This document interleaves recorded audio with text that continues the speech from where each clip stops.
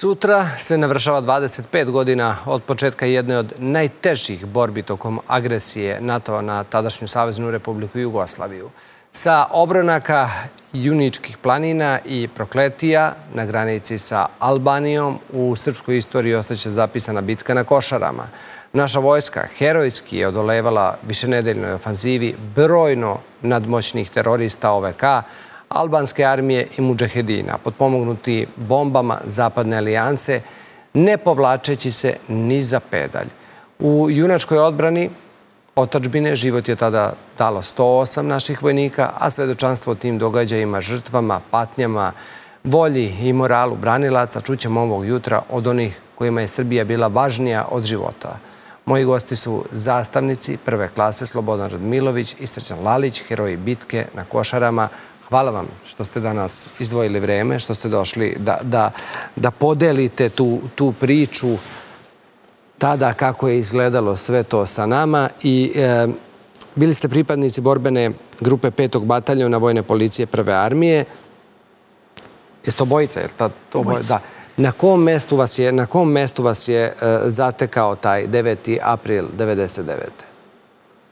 Sa ponosom mogu da kažem da sam bio pripadnik čete vojne policije Drinske divizije iz Valjeva, koja 1999. godine vod vojne policije iz Valjeva ušao u sastav borbene grupe 5. bataljona vojne policije i izrašavali smo borbeni zadatak na teritoriji Kosova i Metohije, preciznije u širirom rejonu Karavole Košare. 9. april naš vod je bio na obezbiđenju logorske prostorije, dok su dva druga voda bila na drugom redovnom zadatku u prepodnim časovima dobijena je informacija da napadnuta Karaula Košare i svo raspoloživo ljudstvo vodvojne policije iz Valjava i deo komande na čelu sa komandantom odmah smo... Koliko je to kad kažete napadnuta Košar, Karaula Košare, a vi ste u trenutku tom gde? U rejonu manastira Dečana. Koliko je to daljine? Pa nekih 15 kilometara. Mhm. I šta radite tada? Mi znači dobijamo uzbunu, mi smo uvijek bili spremni za svaki zadatak, vozilima se prebacujemo po usiljenom maršu znači do sela Batuše, a od tate nastavljamo pešice prema Karauli Košare. Odmah shvatamo kolika je ozbiljnost napada. Prve su informacije bile da je Karaulu napalo na mala grupa terorista, a mi odmah nalazimo na ranjenog komandira Karaule, a posle nedugo zatim i na e, izrešetano vozilo vojske i poginulog vojnika, vozača od komandanta. Ali dok vi i ostali nisu došli, koliko je ljudi bilo tamo? Pa tamo je bilo koja je zadestvana grupa graničara koji su pružili taj početni otpor i bilo ih je jedno četrdesetak koliko je meni poznat. Znači, taj prvi napad kad su krenuli e, OVK, teroristi, muđahedini, albanska armija, ko se sve tu usilio, tamo je bilo svega četrdesetak ljudi. Pa tako oko četrdesetak graničara, To je bilo, znači, samo da napomenem da je pre samog napada na Karaulu Košare e, izlažira napad od strane albanske terorista na susednu Karaulu kako bi obmanuli ovaj, odnosno usmerili naše snage sa Karaule Košare na drugo mesto, a njihov je zaista cilj prevashodni bio obzirom da im je najbliža komunikacija bila u blizini Karaule Košare na albanskoj strani, da napadnu Karaulu Košare i da će, smatrali su da će veoma lako zauzeti i da nastupe dole prema Đakovici i da dele Kosovo na, Metohi, na teritoriju na Kosovo i Metohiji da nastupaju dalje prema Preševskoj dolini. E, I onda dolazite vi, dajete pomoć, Kako je to izgledalo u tim prvim danima? Evo čuli smo, našli su odmah ranjenog komandira, izrešetano vozilo, jednog ubijenog čoveka. Kako to izgleda u narednim danima? Koliko su... Uh, Jesu to bile one borbe filmske što mi gledamo? Pošto prema nekim podacima, evo zvanično kao 6.000, ali prema nekim bilo je i 15.000 ljudi s one strane, a ovamo tim 40-ak ljudi je došlo da pomogne i sve ono ukupno što je došlo je brojalo 1200. Ako mogu samo da ispravim moga kolegu, ranjen je komadant bataljona. Dobro. Graničnog. On je išao prema nama u susret i naišao je na mene i Kolarevića. Jedan čovjek u uniformi, maskirnoj, krvav po nogama, kaže ja sam ranjen, a vojnik mi je stradao. Ja kažem, ne znajući da je on komadant, ja kažem, samo vi idite nizvrdo ako možete. Najićete na našeg lekara, on će da vam pruži prvu pomoć.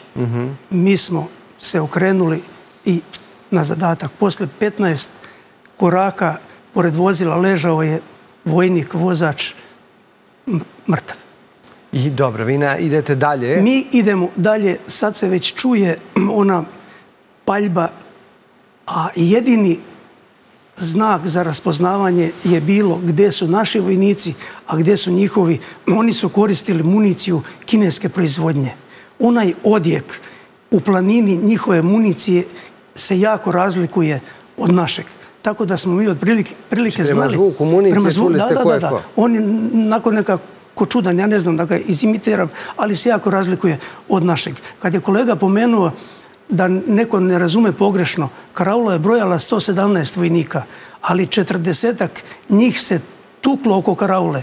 Ostali deo snaga sa Karaule bio je levo od Karaule i desno od Karaule na položajima. U Karauli je zatečeno jako malo vojnika.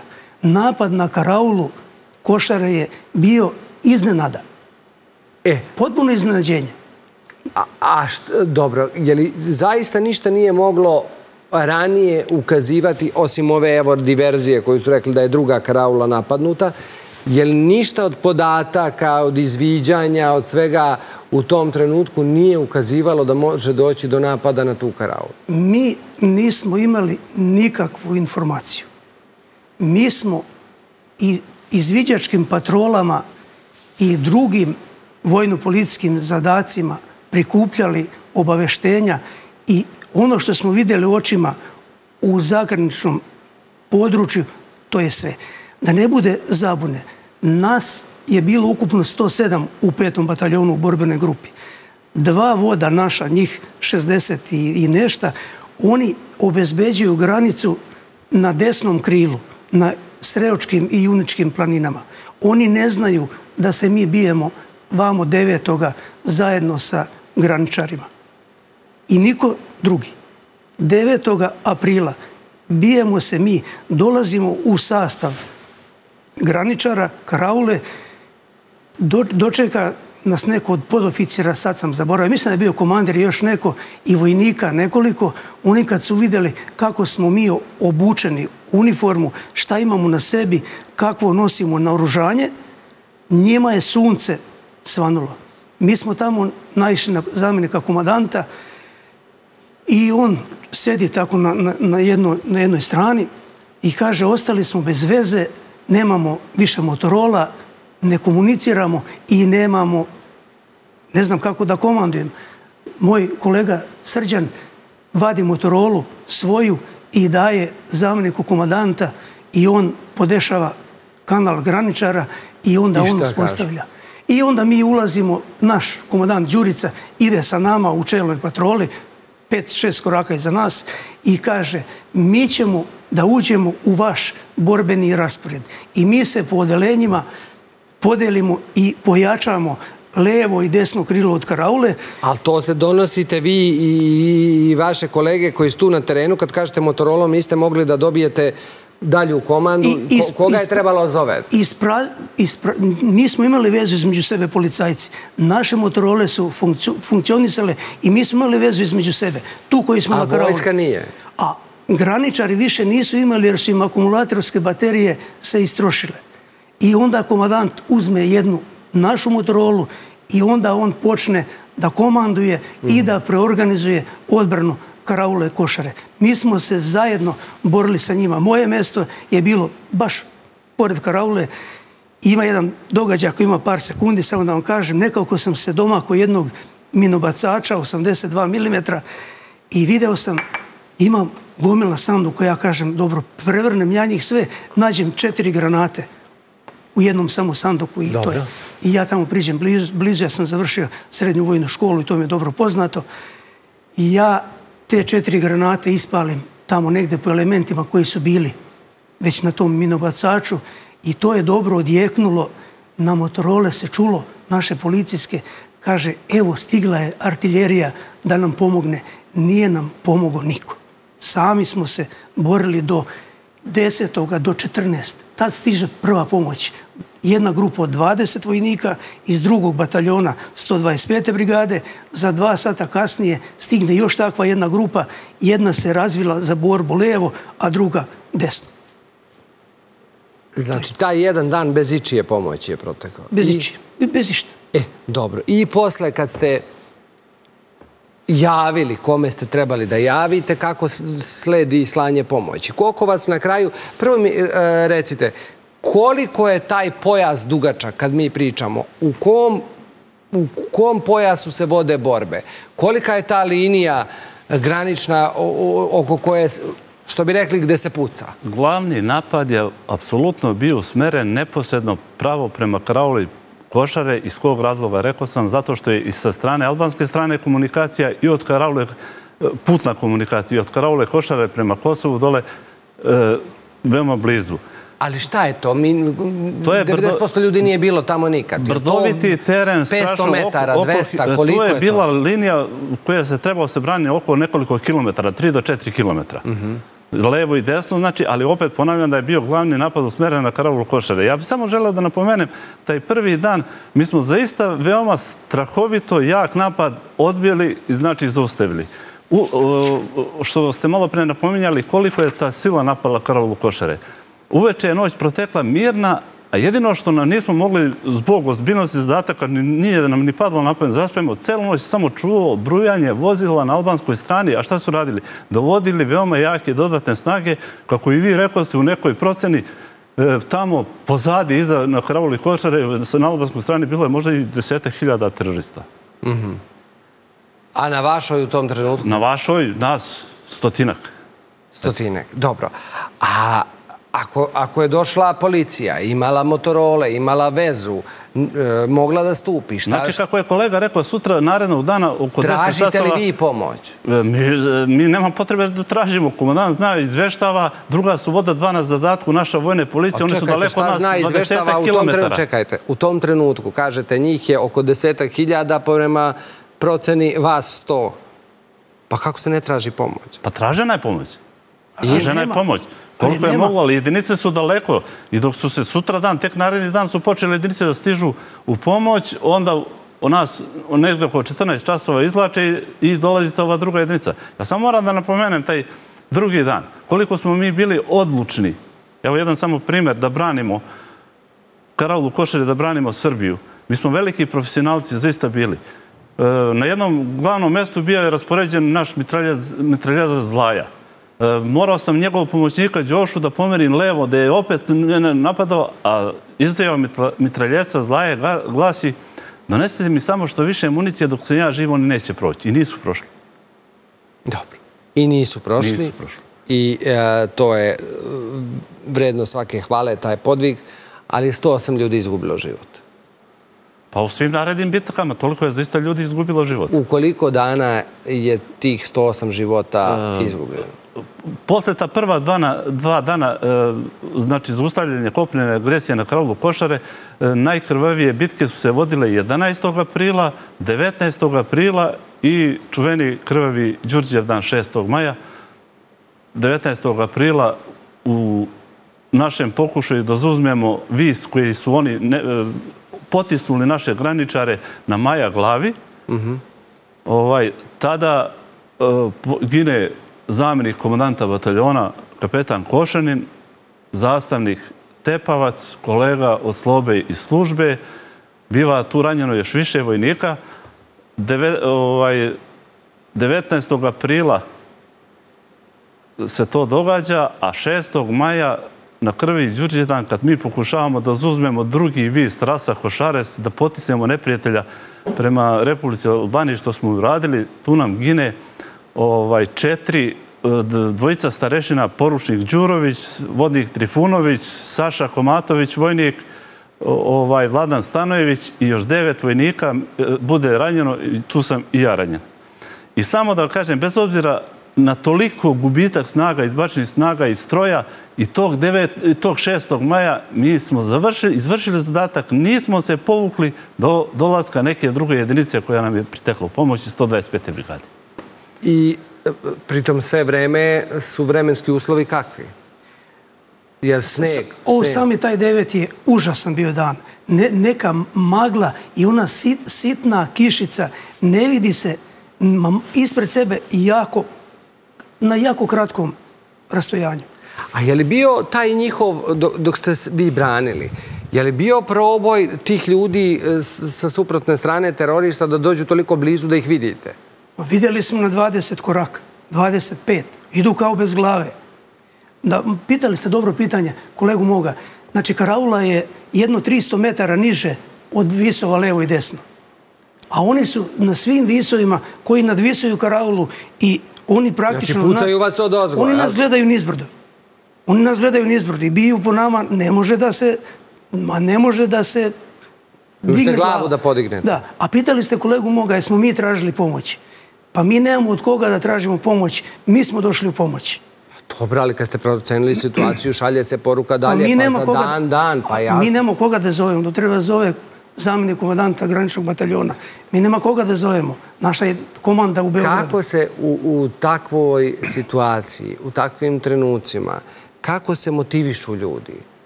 Može li uopšte išta da ih motiviše? Pa mi, mi smo motivisani otišli iz Beograda da branimo ono što je naše. I ne, ko, ko, treba da, ko treba vojnika, profesionalca da, da motiviše ili starešinu? Mi smo samo radili svoj posao za koji smo bili plaćeni, a volimo svoju zemlju i mi smo išli na Kosovo da damo nešto Srbiji, da ju damo slobodu, da ju sačuvamo, jasno u- a nismo išli tamo da nekome damo Srbiju. Ne, ne, to mi je jasno ovako kad, u, kad gledate sve obuhvatnu sliku, ali pitam vas konkretno za taj dan, kad dolazite i kad vidite kakva je situacija, to svi smo ljudi, uplašimo se. Kad vidite da tamo hiljade i hiljade, a vas, rekli ste sami, četrdesetak ste zatekli, pa vi došli, pa koliko je to ljudi, stotinak. Kako se hrabri tada čovek? Pa o, odlučan da brani. brani državu, brani svoj je. život. Ali kako se... u- Šta mu se kaže? Ima li neke motivacije? Uspaniči se? Može neko da baci i da krene da beži? Pa znate kako, svi pogledaju gde je komadant, a on je pored nas. A pošto sam ja bio tamo skoro najstariji, imao sam nekoliko godina iskustva u ratu pre toga, onda je drugi pogled bio okrenut Koliko ste prema meni. godina tada? 38, a vojnici 21. A svi gledaju u nas. Svi gledaju komandire odelenja. Komandire odelenja na čelu ne komanduju napred, nego za mnom i to je ona moralna podrška kad vidiš sve oko sebe da nikom nije palo ni na pamet da se pomeri. Pa ka, kako bismo mi živeli posle da smo mi okrenuli leđa i pobegli? Sa, sa kakvom bi mi sramotom živeli ove sve godine? Možda je to odgovor na to pitanje. Mogu li ja samo malo se nadovežem na ovo? Možete naravno. ovaj, izuzetna obuka, stručno i psihofizička pripremljenost pripadnika vojne policije direktno utiče na to koliko smo mi moralno spremni. Mi smo izvršavali i 98. godine borbena grupa ista na prostorima Kosova i Metahije zadatke borbene ne tako složene. Znači, mi smo spremni apsolutno za svaki zadatak. Mi nijednom momentu nismo razmišljali da li možemo. Mi možemo. A znamo zašto. Branimo Srbiju. Meni je to sve jasno. Vi ste profesionalci, e, e, rodoljubi, branite otačbinu, zbog toga ste dole. Ali ste na kraju krajeva čovek, jeli? Ljudsko biće koje može da podlegne u situaciji ovako ili onako. E, u tim trenucima kad ste e, zasuti kišom e, bombi, granata, kad se puca na sve strane, na šta prvo pomislite? Pa moram da priznam, najteža je stvar kad vidite ranjenog, a pogotovo poginulog saborca. Nije vam svejedno ni kad vidite tamo ni graničara, ni komadanta graničara, ni bilo koga. Ali to vam je najteže pada. Ali prosto, rat je rat, neko mora i da pogine. Borba je borba. Kako se strah savladava ta, u tim Pa situacijama? mi smo delimično, jako što sam vam rekao, i kroz obuku se pripremamo i za savlađivanje tog straha. Ma jedno je obuka, kad se vi obučavate, pa drugo je kad to zaista kretne da, da prašti iznad glave. Mi zaista nijednog momenta nismo posustali. Istorija će da piše o tome. To je jasno, zato mi i danas pričamo o tome i, kao o jednoj od najvažnijih bit- gubitaka ozbiljnih koji nam se u, u, u svakoj bitci dešavaju. To je sve jasno i vi ste za ponos, nego me interesuje ljudski kako se u tom trenutku osjeća čovek. Pa nije nam bilo lako. Razmišljate o, o prevashodno vojnicima, komandant je tu glavni, svi gledamo u njega, vojnici gledaju nas, mi gledamo jedni druge, gledamo vojničke. Vojnici su čvrsti, odlučni, spremni. I Ali prosto vam je to ti- neki moral i satisfakcija. Nema... Dobro, ali u tim trenucima i prođe odavde nećemo izvući živu glavu. O, pa to je prolazno svaki minut. Opraštali smo se bar po dva put svi sa životom.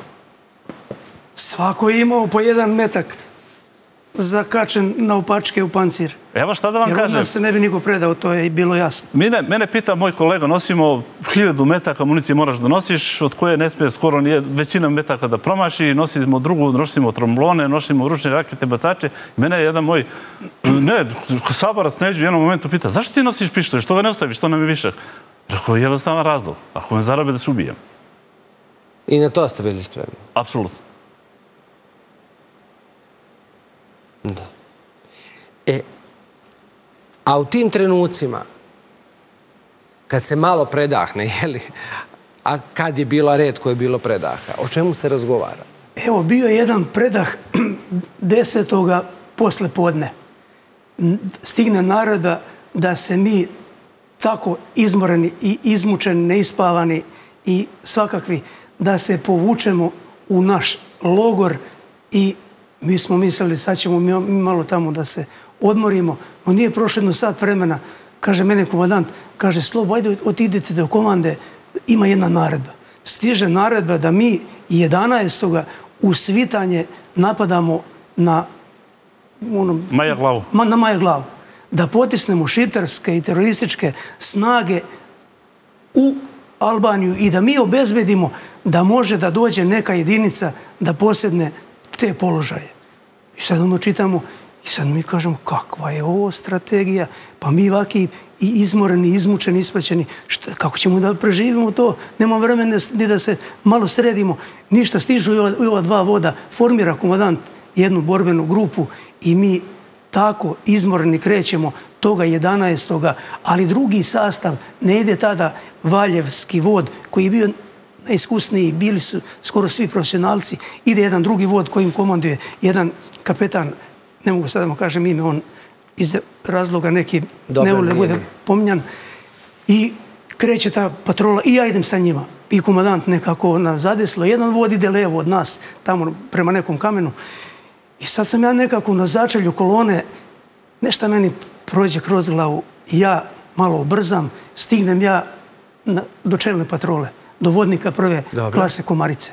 I ja jednog desetara tamo njemu kažem, Gavro, ti sad malo idi za mene, a reko, Dragane, ti ideš levo i gledaš napred i levo i nemoj da misliš šta vidiš, odmah dejstvuj. Ja idem desno, pored njega, idemo paralelno, gledam ja u njega, on mlađi je puno od mene, ali je snažniji, ali je neiskusniji i vidim onako da se uplaši, idemo mi tako prema tom zadatku, umorni, bre, sve do jednoga, idemo mi, ja sam bio toliko umoran, ali mi je bilo sramota reći pred onim vojnicima, e vidi, sad šta će oni reći, ovaj se umorio. I idem ja gore i jednog momenta jedan vojnik koji je sa karaule pobegao u džemperu da ne pogine jer nekoliko ih je odmaralo tamo, par njih.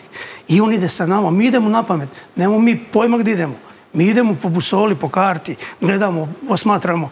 I on ide sa nama i mi tu dođemo na jednu liniju, stanemo, rasporedimo se pored bukve Komarica, pored druge ja, pored treći ovaj vojnik, a ostali deo snaga ostane jedno 15, 20, 30, 50 metara je za nas. I vojnik ovaj kaže jedno meni, ne pričamo, mi samo se gledamo. Vidimo jedno 25 koraka, možda nema ni toliko, jed, jedan krupan čovjek sa pelerinom, sa onom puškom američkom i nešto on gleda.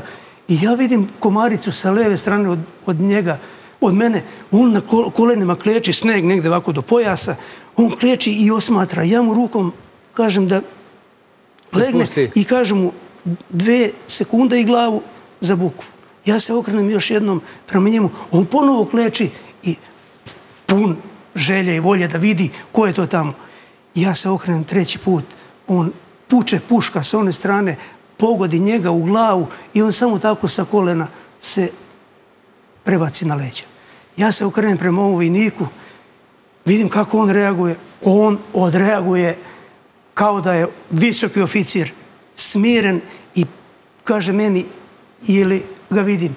Ja kažem da ga vidim, a on meni kaže, ja ukline glavom, on fino sastavi nišan i mušicu i kad je promolio se taj oficir aktivni nemačke vojske, rođen u Frankfurtu na Majni, takve je imao papire u džepu. Vojni ga je lišio slobode.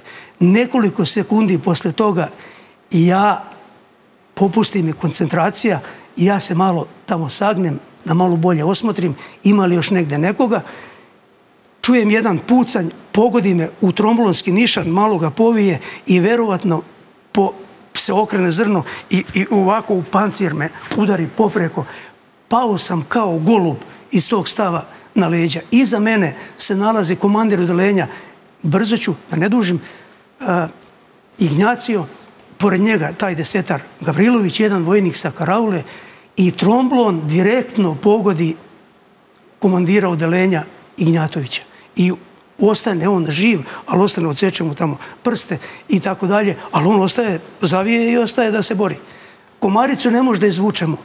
Jedno odelenje kojim komanduje Stefanovski pomera se u desnu stranu. I on izađe na čelo i kaže, e, kaže, učeka, dođite na kafu u Batušu. I onda oni počnu odande, Srbine i sve šta nisu psovali. A joj, kad je tad paljba Tad je paljba krenula. Ali čekajte, bilo je, rekli ste, nemački čovek ubije. Oficir imao je službenu legitimaciju vojske.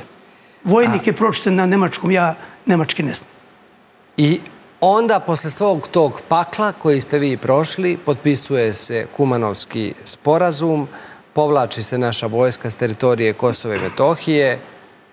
Kako ste vi kao srpski oficiri to doživali? Pa ja moram samo još jednom da napomenem da nije Karaula Košare odbranjena, da nije zaustavljena kopnena agresija regularne albanske vojske, šiptarskih terorista pod pomognuta NATO snagama, ne bi bilo ni kumunavskog sporozuma. Verovatno. E, vi koji svi profesionalci potpisuje se sporazum, neko je to odlučio da tako treba, koji svaki zadatak mi to doživljavamo i izvršavamo. Samo moram da napomenem, e, borbena grupa 5. bataljona se 20. maja izvukla iz rajona Kosova. U zamenu nam je došla borbena grupa koju je formirao 55. bataljon vojne policije sa Topčidera. Tako da nas je nas Kumanovski sporazum zatekao negde na teritoriji Srbije. Mhm.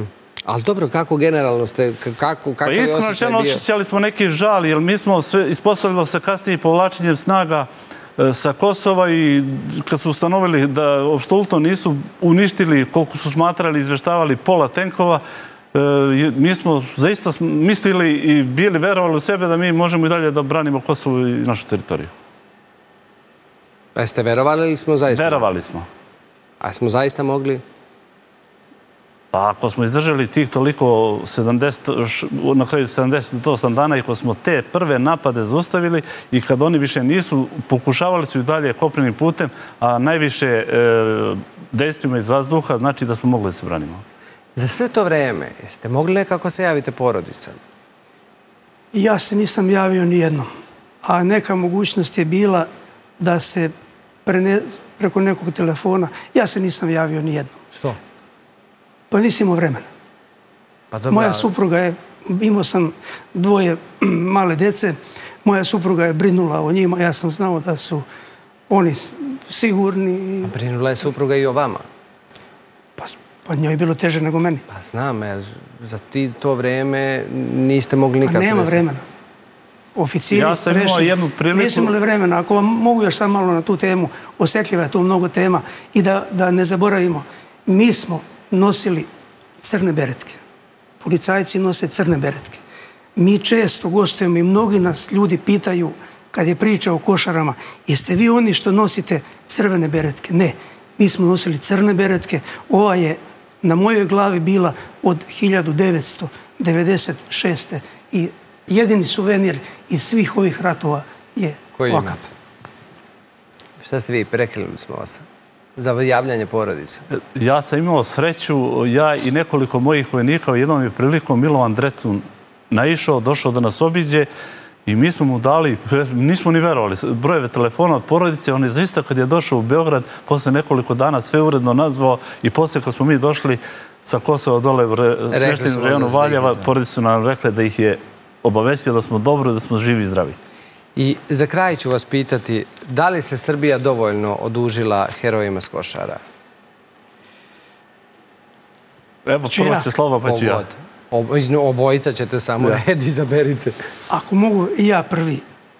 Kao i uvek, srpski vojnik bude cenjen samo ono dok najgore traje. A onda posle to krene sve kako ne treba. Mi kad smo se vratili na Topčider, naše kolege koji su bili na nekim drugim jako teškim i odgovornim zadacima za vreme bombardovanja, kad smo mi njima pričali kako smo mi prošli, oni su videli koliko je naših prijatelja poginulo. Oni su kroz nas gledali kao sa rengenom i nisu verovali u našu priču. I to je trajalo ovako poprilično, a onda je došlo do promjene vlasti, pa smo mi onda lepo otišli u penziju. Ja sam imao to zadovoljstvo da sam otišao prvi sa 44 godine staža, a moje kolege koje su se borile protiv NATO snaga, one su otišle septembra, a ja sam otišao 17. maja. Rekao mi jedan organ bezbednosti, jedan gospodin pukovnik, da ga sad ne imenujem, kaže, Slobo, idi, nađi razlog, idi u penziju, da ne ispadne, bit ćeš oteran septembra mjeseca. Država se odužila minimalno, bar onima koji su poginuli, dobili su stanove sve supruge. Tamo je bilo dete koje je rođeno 51 dan posle smrti oca. Tamo je bilo jedno dete koje je bilo staro 3-4 meseca. od nije oca ne upamtilo. Tamo je bilo oni koji nisu bili oženjeni. Tamo su poginulo dvoje, dva jedinca čija se loza prekida i nje više nema. Tamo je ranjeno 30 naših policajaca. Tamo je nervni slom preživjelo nekoliko naših prijatelja posle rata do danas je umrlo 13 mladih ljudi, samo jedan majstor auto električar, on je bio stariji i ovi su svi umrli ljudi vrlo mladi, 40. godina.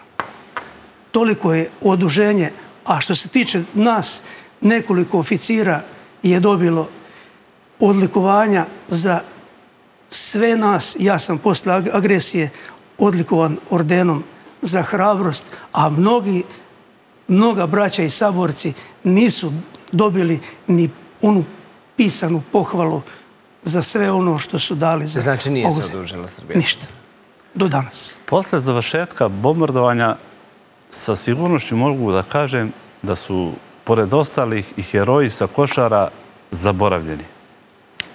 Da nam nije posvećena nikakva pažnja, nije se pričalo ništa o nama, čak mi nismo smeli ni da pomenemo da smo bili na košarama ni na Kosovo Metohiji. Evo, 2000... Ko vam je branio? Vlast tadašnja. Čak je bilo tendencija prevremenog penzionisanja, ko što je Slobo otišao u najjačoj snazi sa 30 godina u penziju. E, od 2000... Znači vlast koja je došla posle 5. oktobarskih promjena. Da. Od 2014. godine, ja slobodno mogu da kažem, kad je predsjednik Vučić sa svojom ekipom došao, sa svojim timom, da se počelo mnogo da priča o nama sa košara, o nama junacima. Ali počelo se pomaže, pustite. Počelo je da se pomaže. E, neki put vam je satisfakcija kad vas neko pomene, kad vas ne zaboravi, kad vas pozove, a pomaže se u određenoj meri koliko se može. Ima tendencija da se sve više i više počelo da se pomaže. Šta danas radite? Pa mi se bavimo... Osim što ste penzioneri. Pa ja nisam nijednog dana bio da se nisam bavio poslom. Radimo mi svi neke poslove. Dobar deo naših kolega se bavi građevinom, neko, nečim, ali uglavnom snašli smo se, živimo pristojno, jako smo prisni, dobri, družimo se i u jednom smo udruženju koje se zove znači, udruženje organa bezbednosti i vojne policije koje nam je pomoglo toliko mnogo ove zadnje dve, tri godine da smo mi prošle godine uspeli da se okupimo u Domu vojske u Beogradu, heroji sa Košara, pripadnici borbene grupe po prvi put. I hvala udruženju što postoji i mi smo svi članovi i možda ću ja danas ovo zadnje da vam kažem, ako dobijemo poziv da treba da se odazovemo u jedinice, mi ćemo peti bataljon vojne policije da popunimo i jako brzo u 100%. Vi ste dovoljno uradili da je Bože da taj poziv više nikad ne dođe, da nikad ne zatreba. Mogu ja samo još kratko da dodam. E, formiranjem udruženja organa bezbednosti i vojne policije ovo su udruženje ukupljeni e, skoro svi pripadnici petog bataljona vojne policije borbene grupe i njihove porodice. Cilj ovog udruženja je da se mi ne zaboravimo, preshodno da negujemo slobodarske tradicije i da brinemo svi kako o porodicama poginulih, tako i o pripadnika. Imamo i pripadnika, pomenuo sam metraljestva Zlaju, on toliko u lošim uslovima materijalni živi da smo se mi prošle godine okupili, sami nešto skupili, pomogli da mu neku materijalnu pomoć ponesemo, a brinemo se i o e, koji ima zdravstvene probleme da im pomožemo i zakažemo i gde možemo i da pomožemo, da preporučimo, da nekog i zaposlimo. Znači... Dobro, ali tako okupljeni trebalo bi da više vršite pritisak na nadležne, a vi uradite što je do vas. Mi zaista se prezentujemo, one nadležne nas prepoznaju, ministar odbrane i sam predsjednik i daju nam podršku i imamo zaista poštovanje od njih i pomoć. Hvala vam, hvala vam na ovom razgovoru i evo da, da, da, da se ne zaboravi to što je bilo pre četvrt veka, a da vaša hrabrost i profesionalizam služi za uzor svim narednim generacijama. Hvala i vama veliko na vremenu koje ste nam dali danas. Eto, mi smo ispričali kakvi smo bili. Da.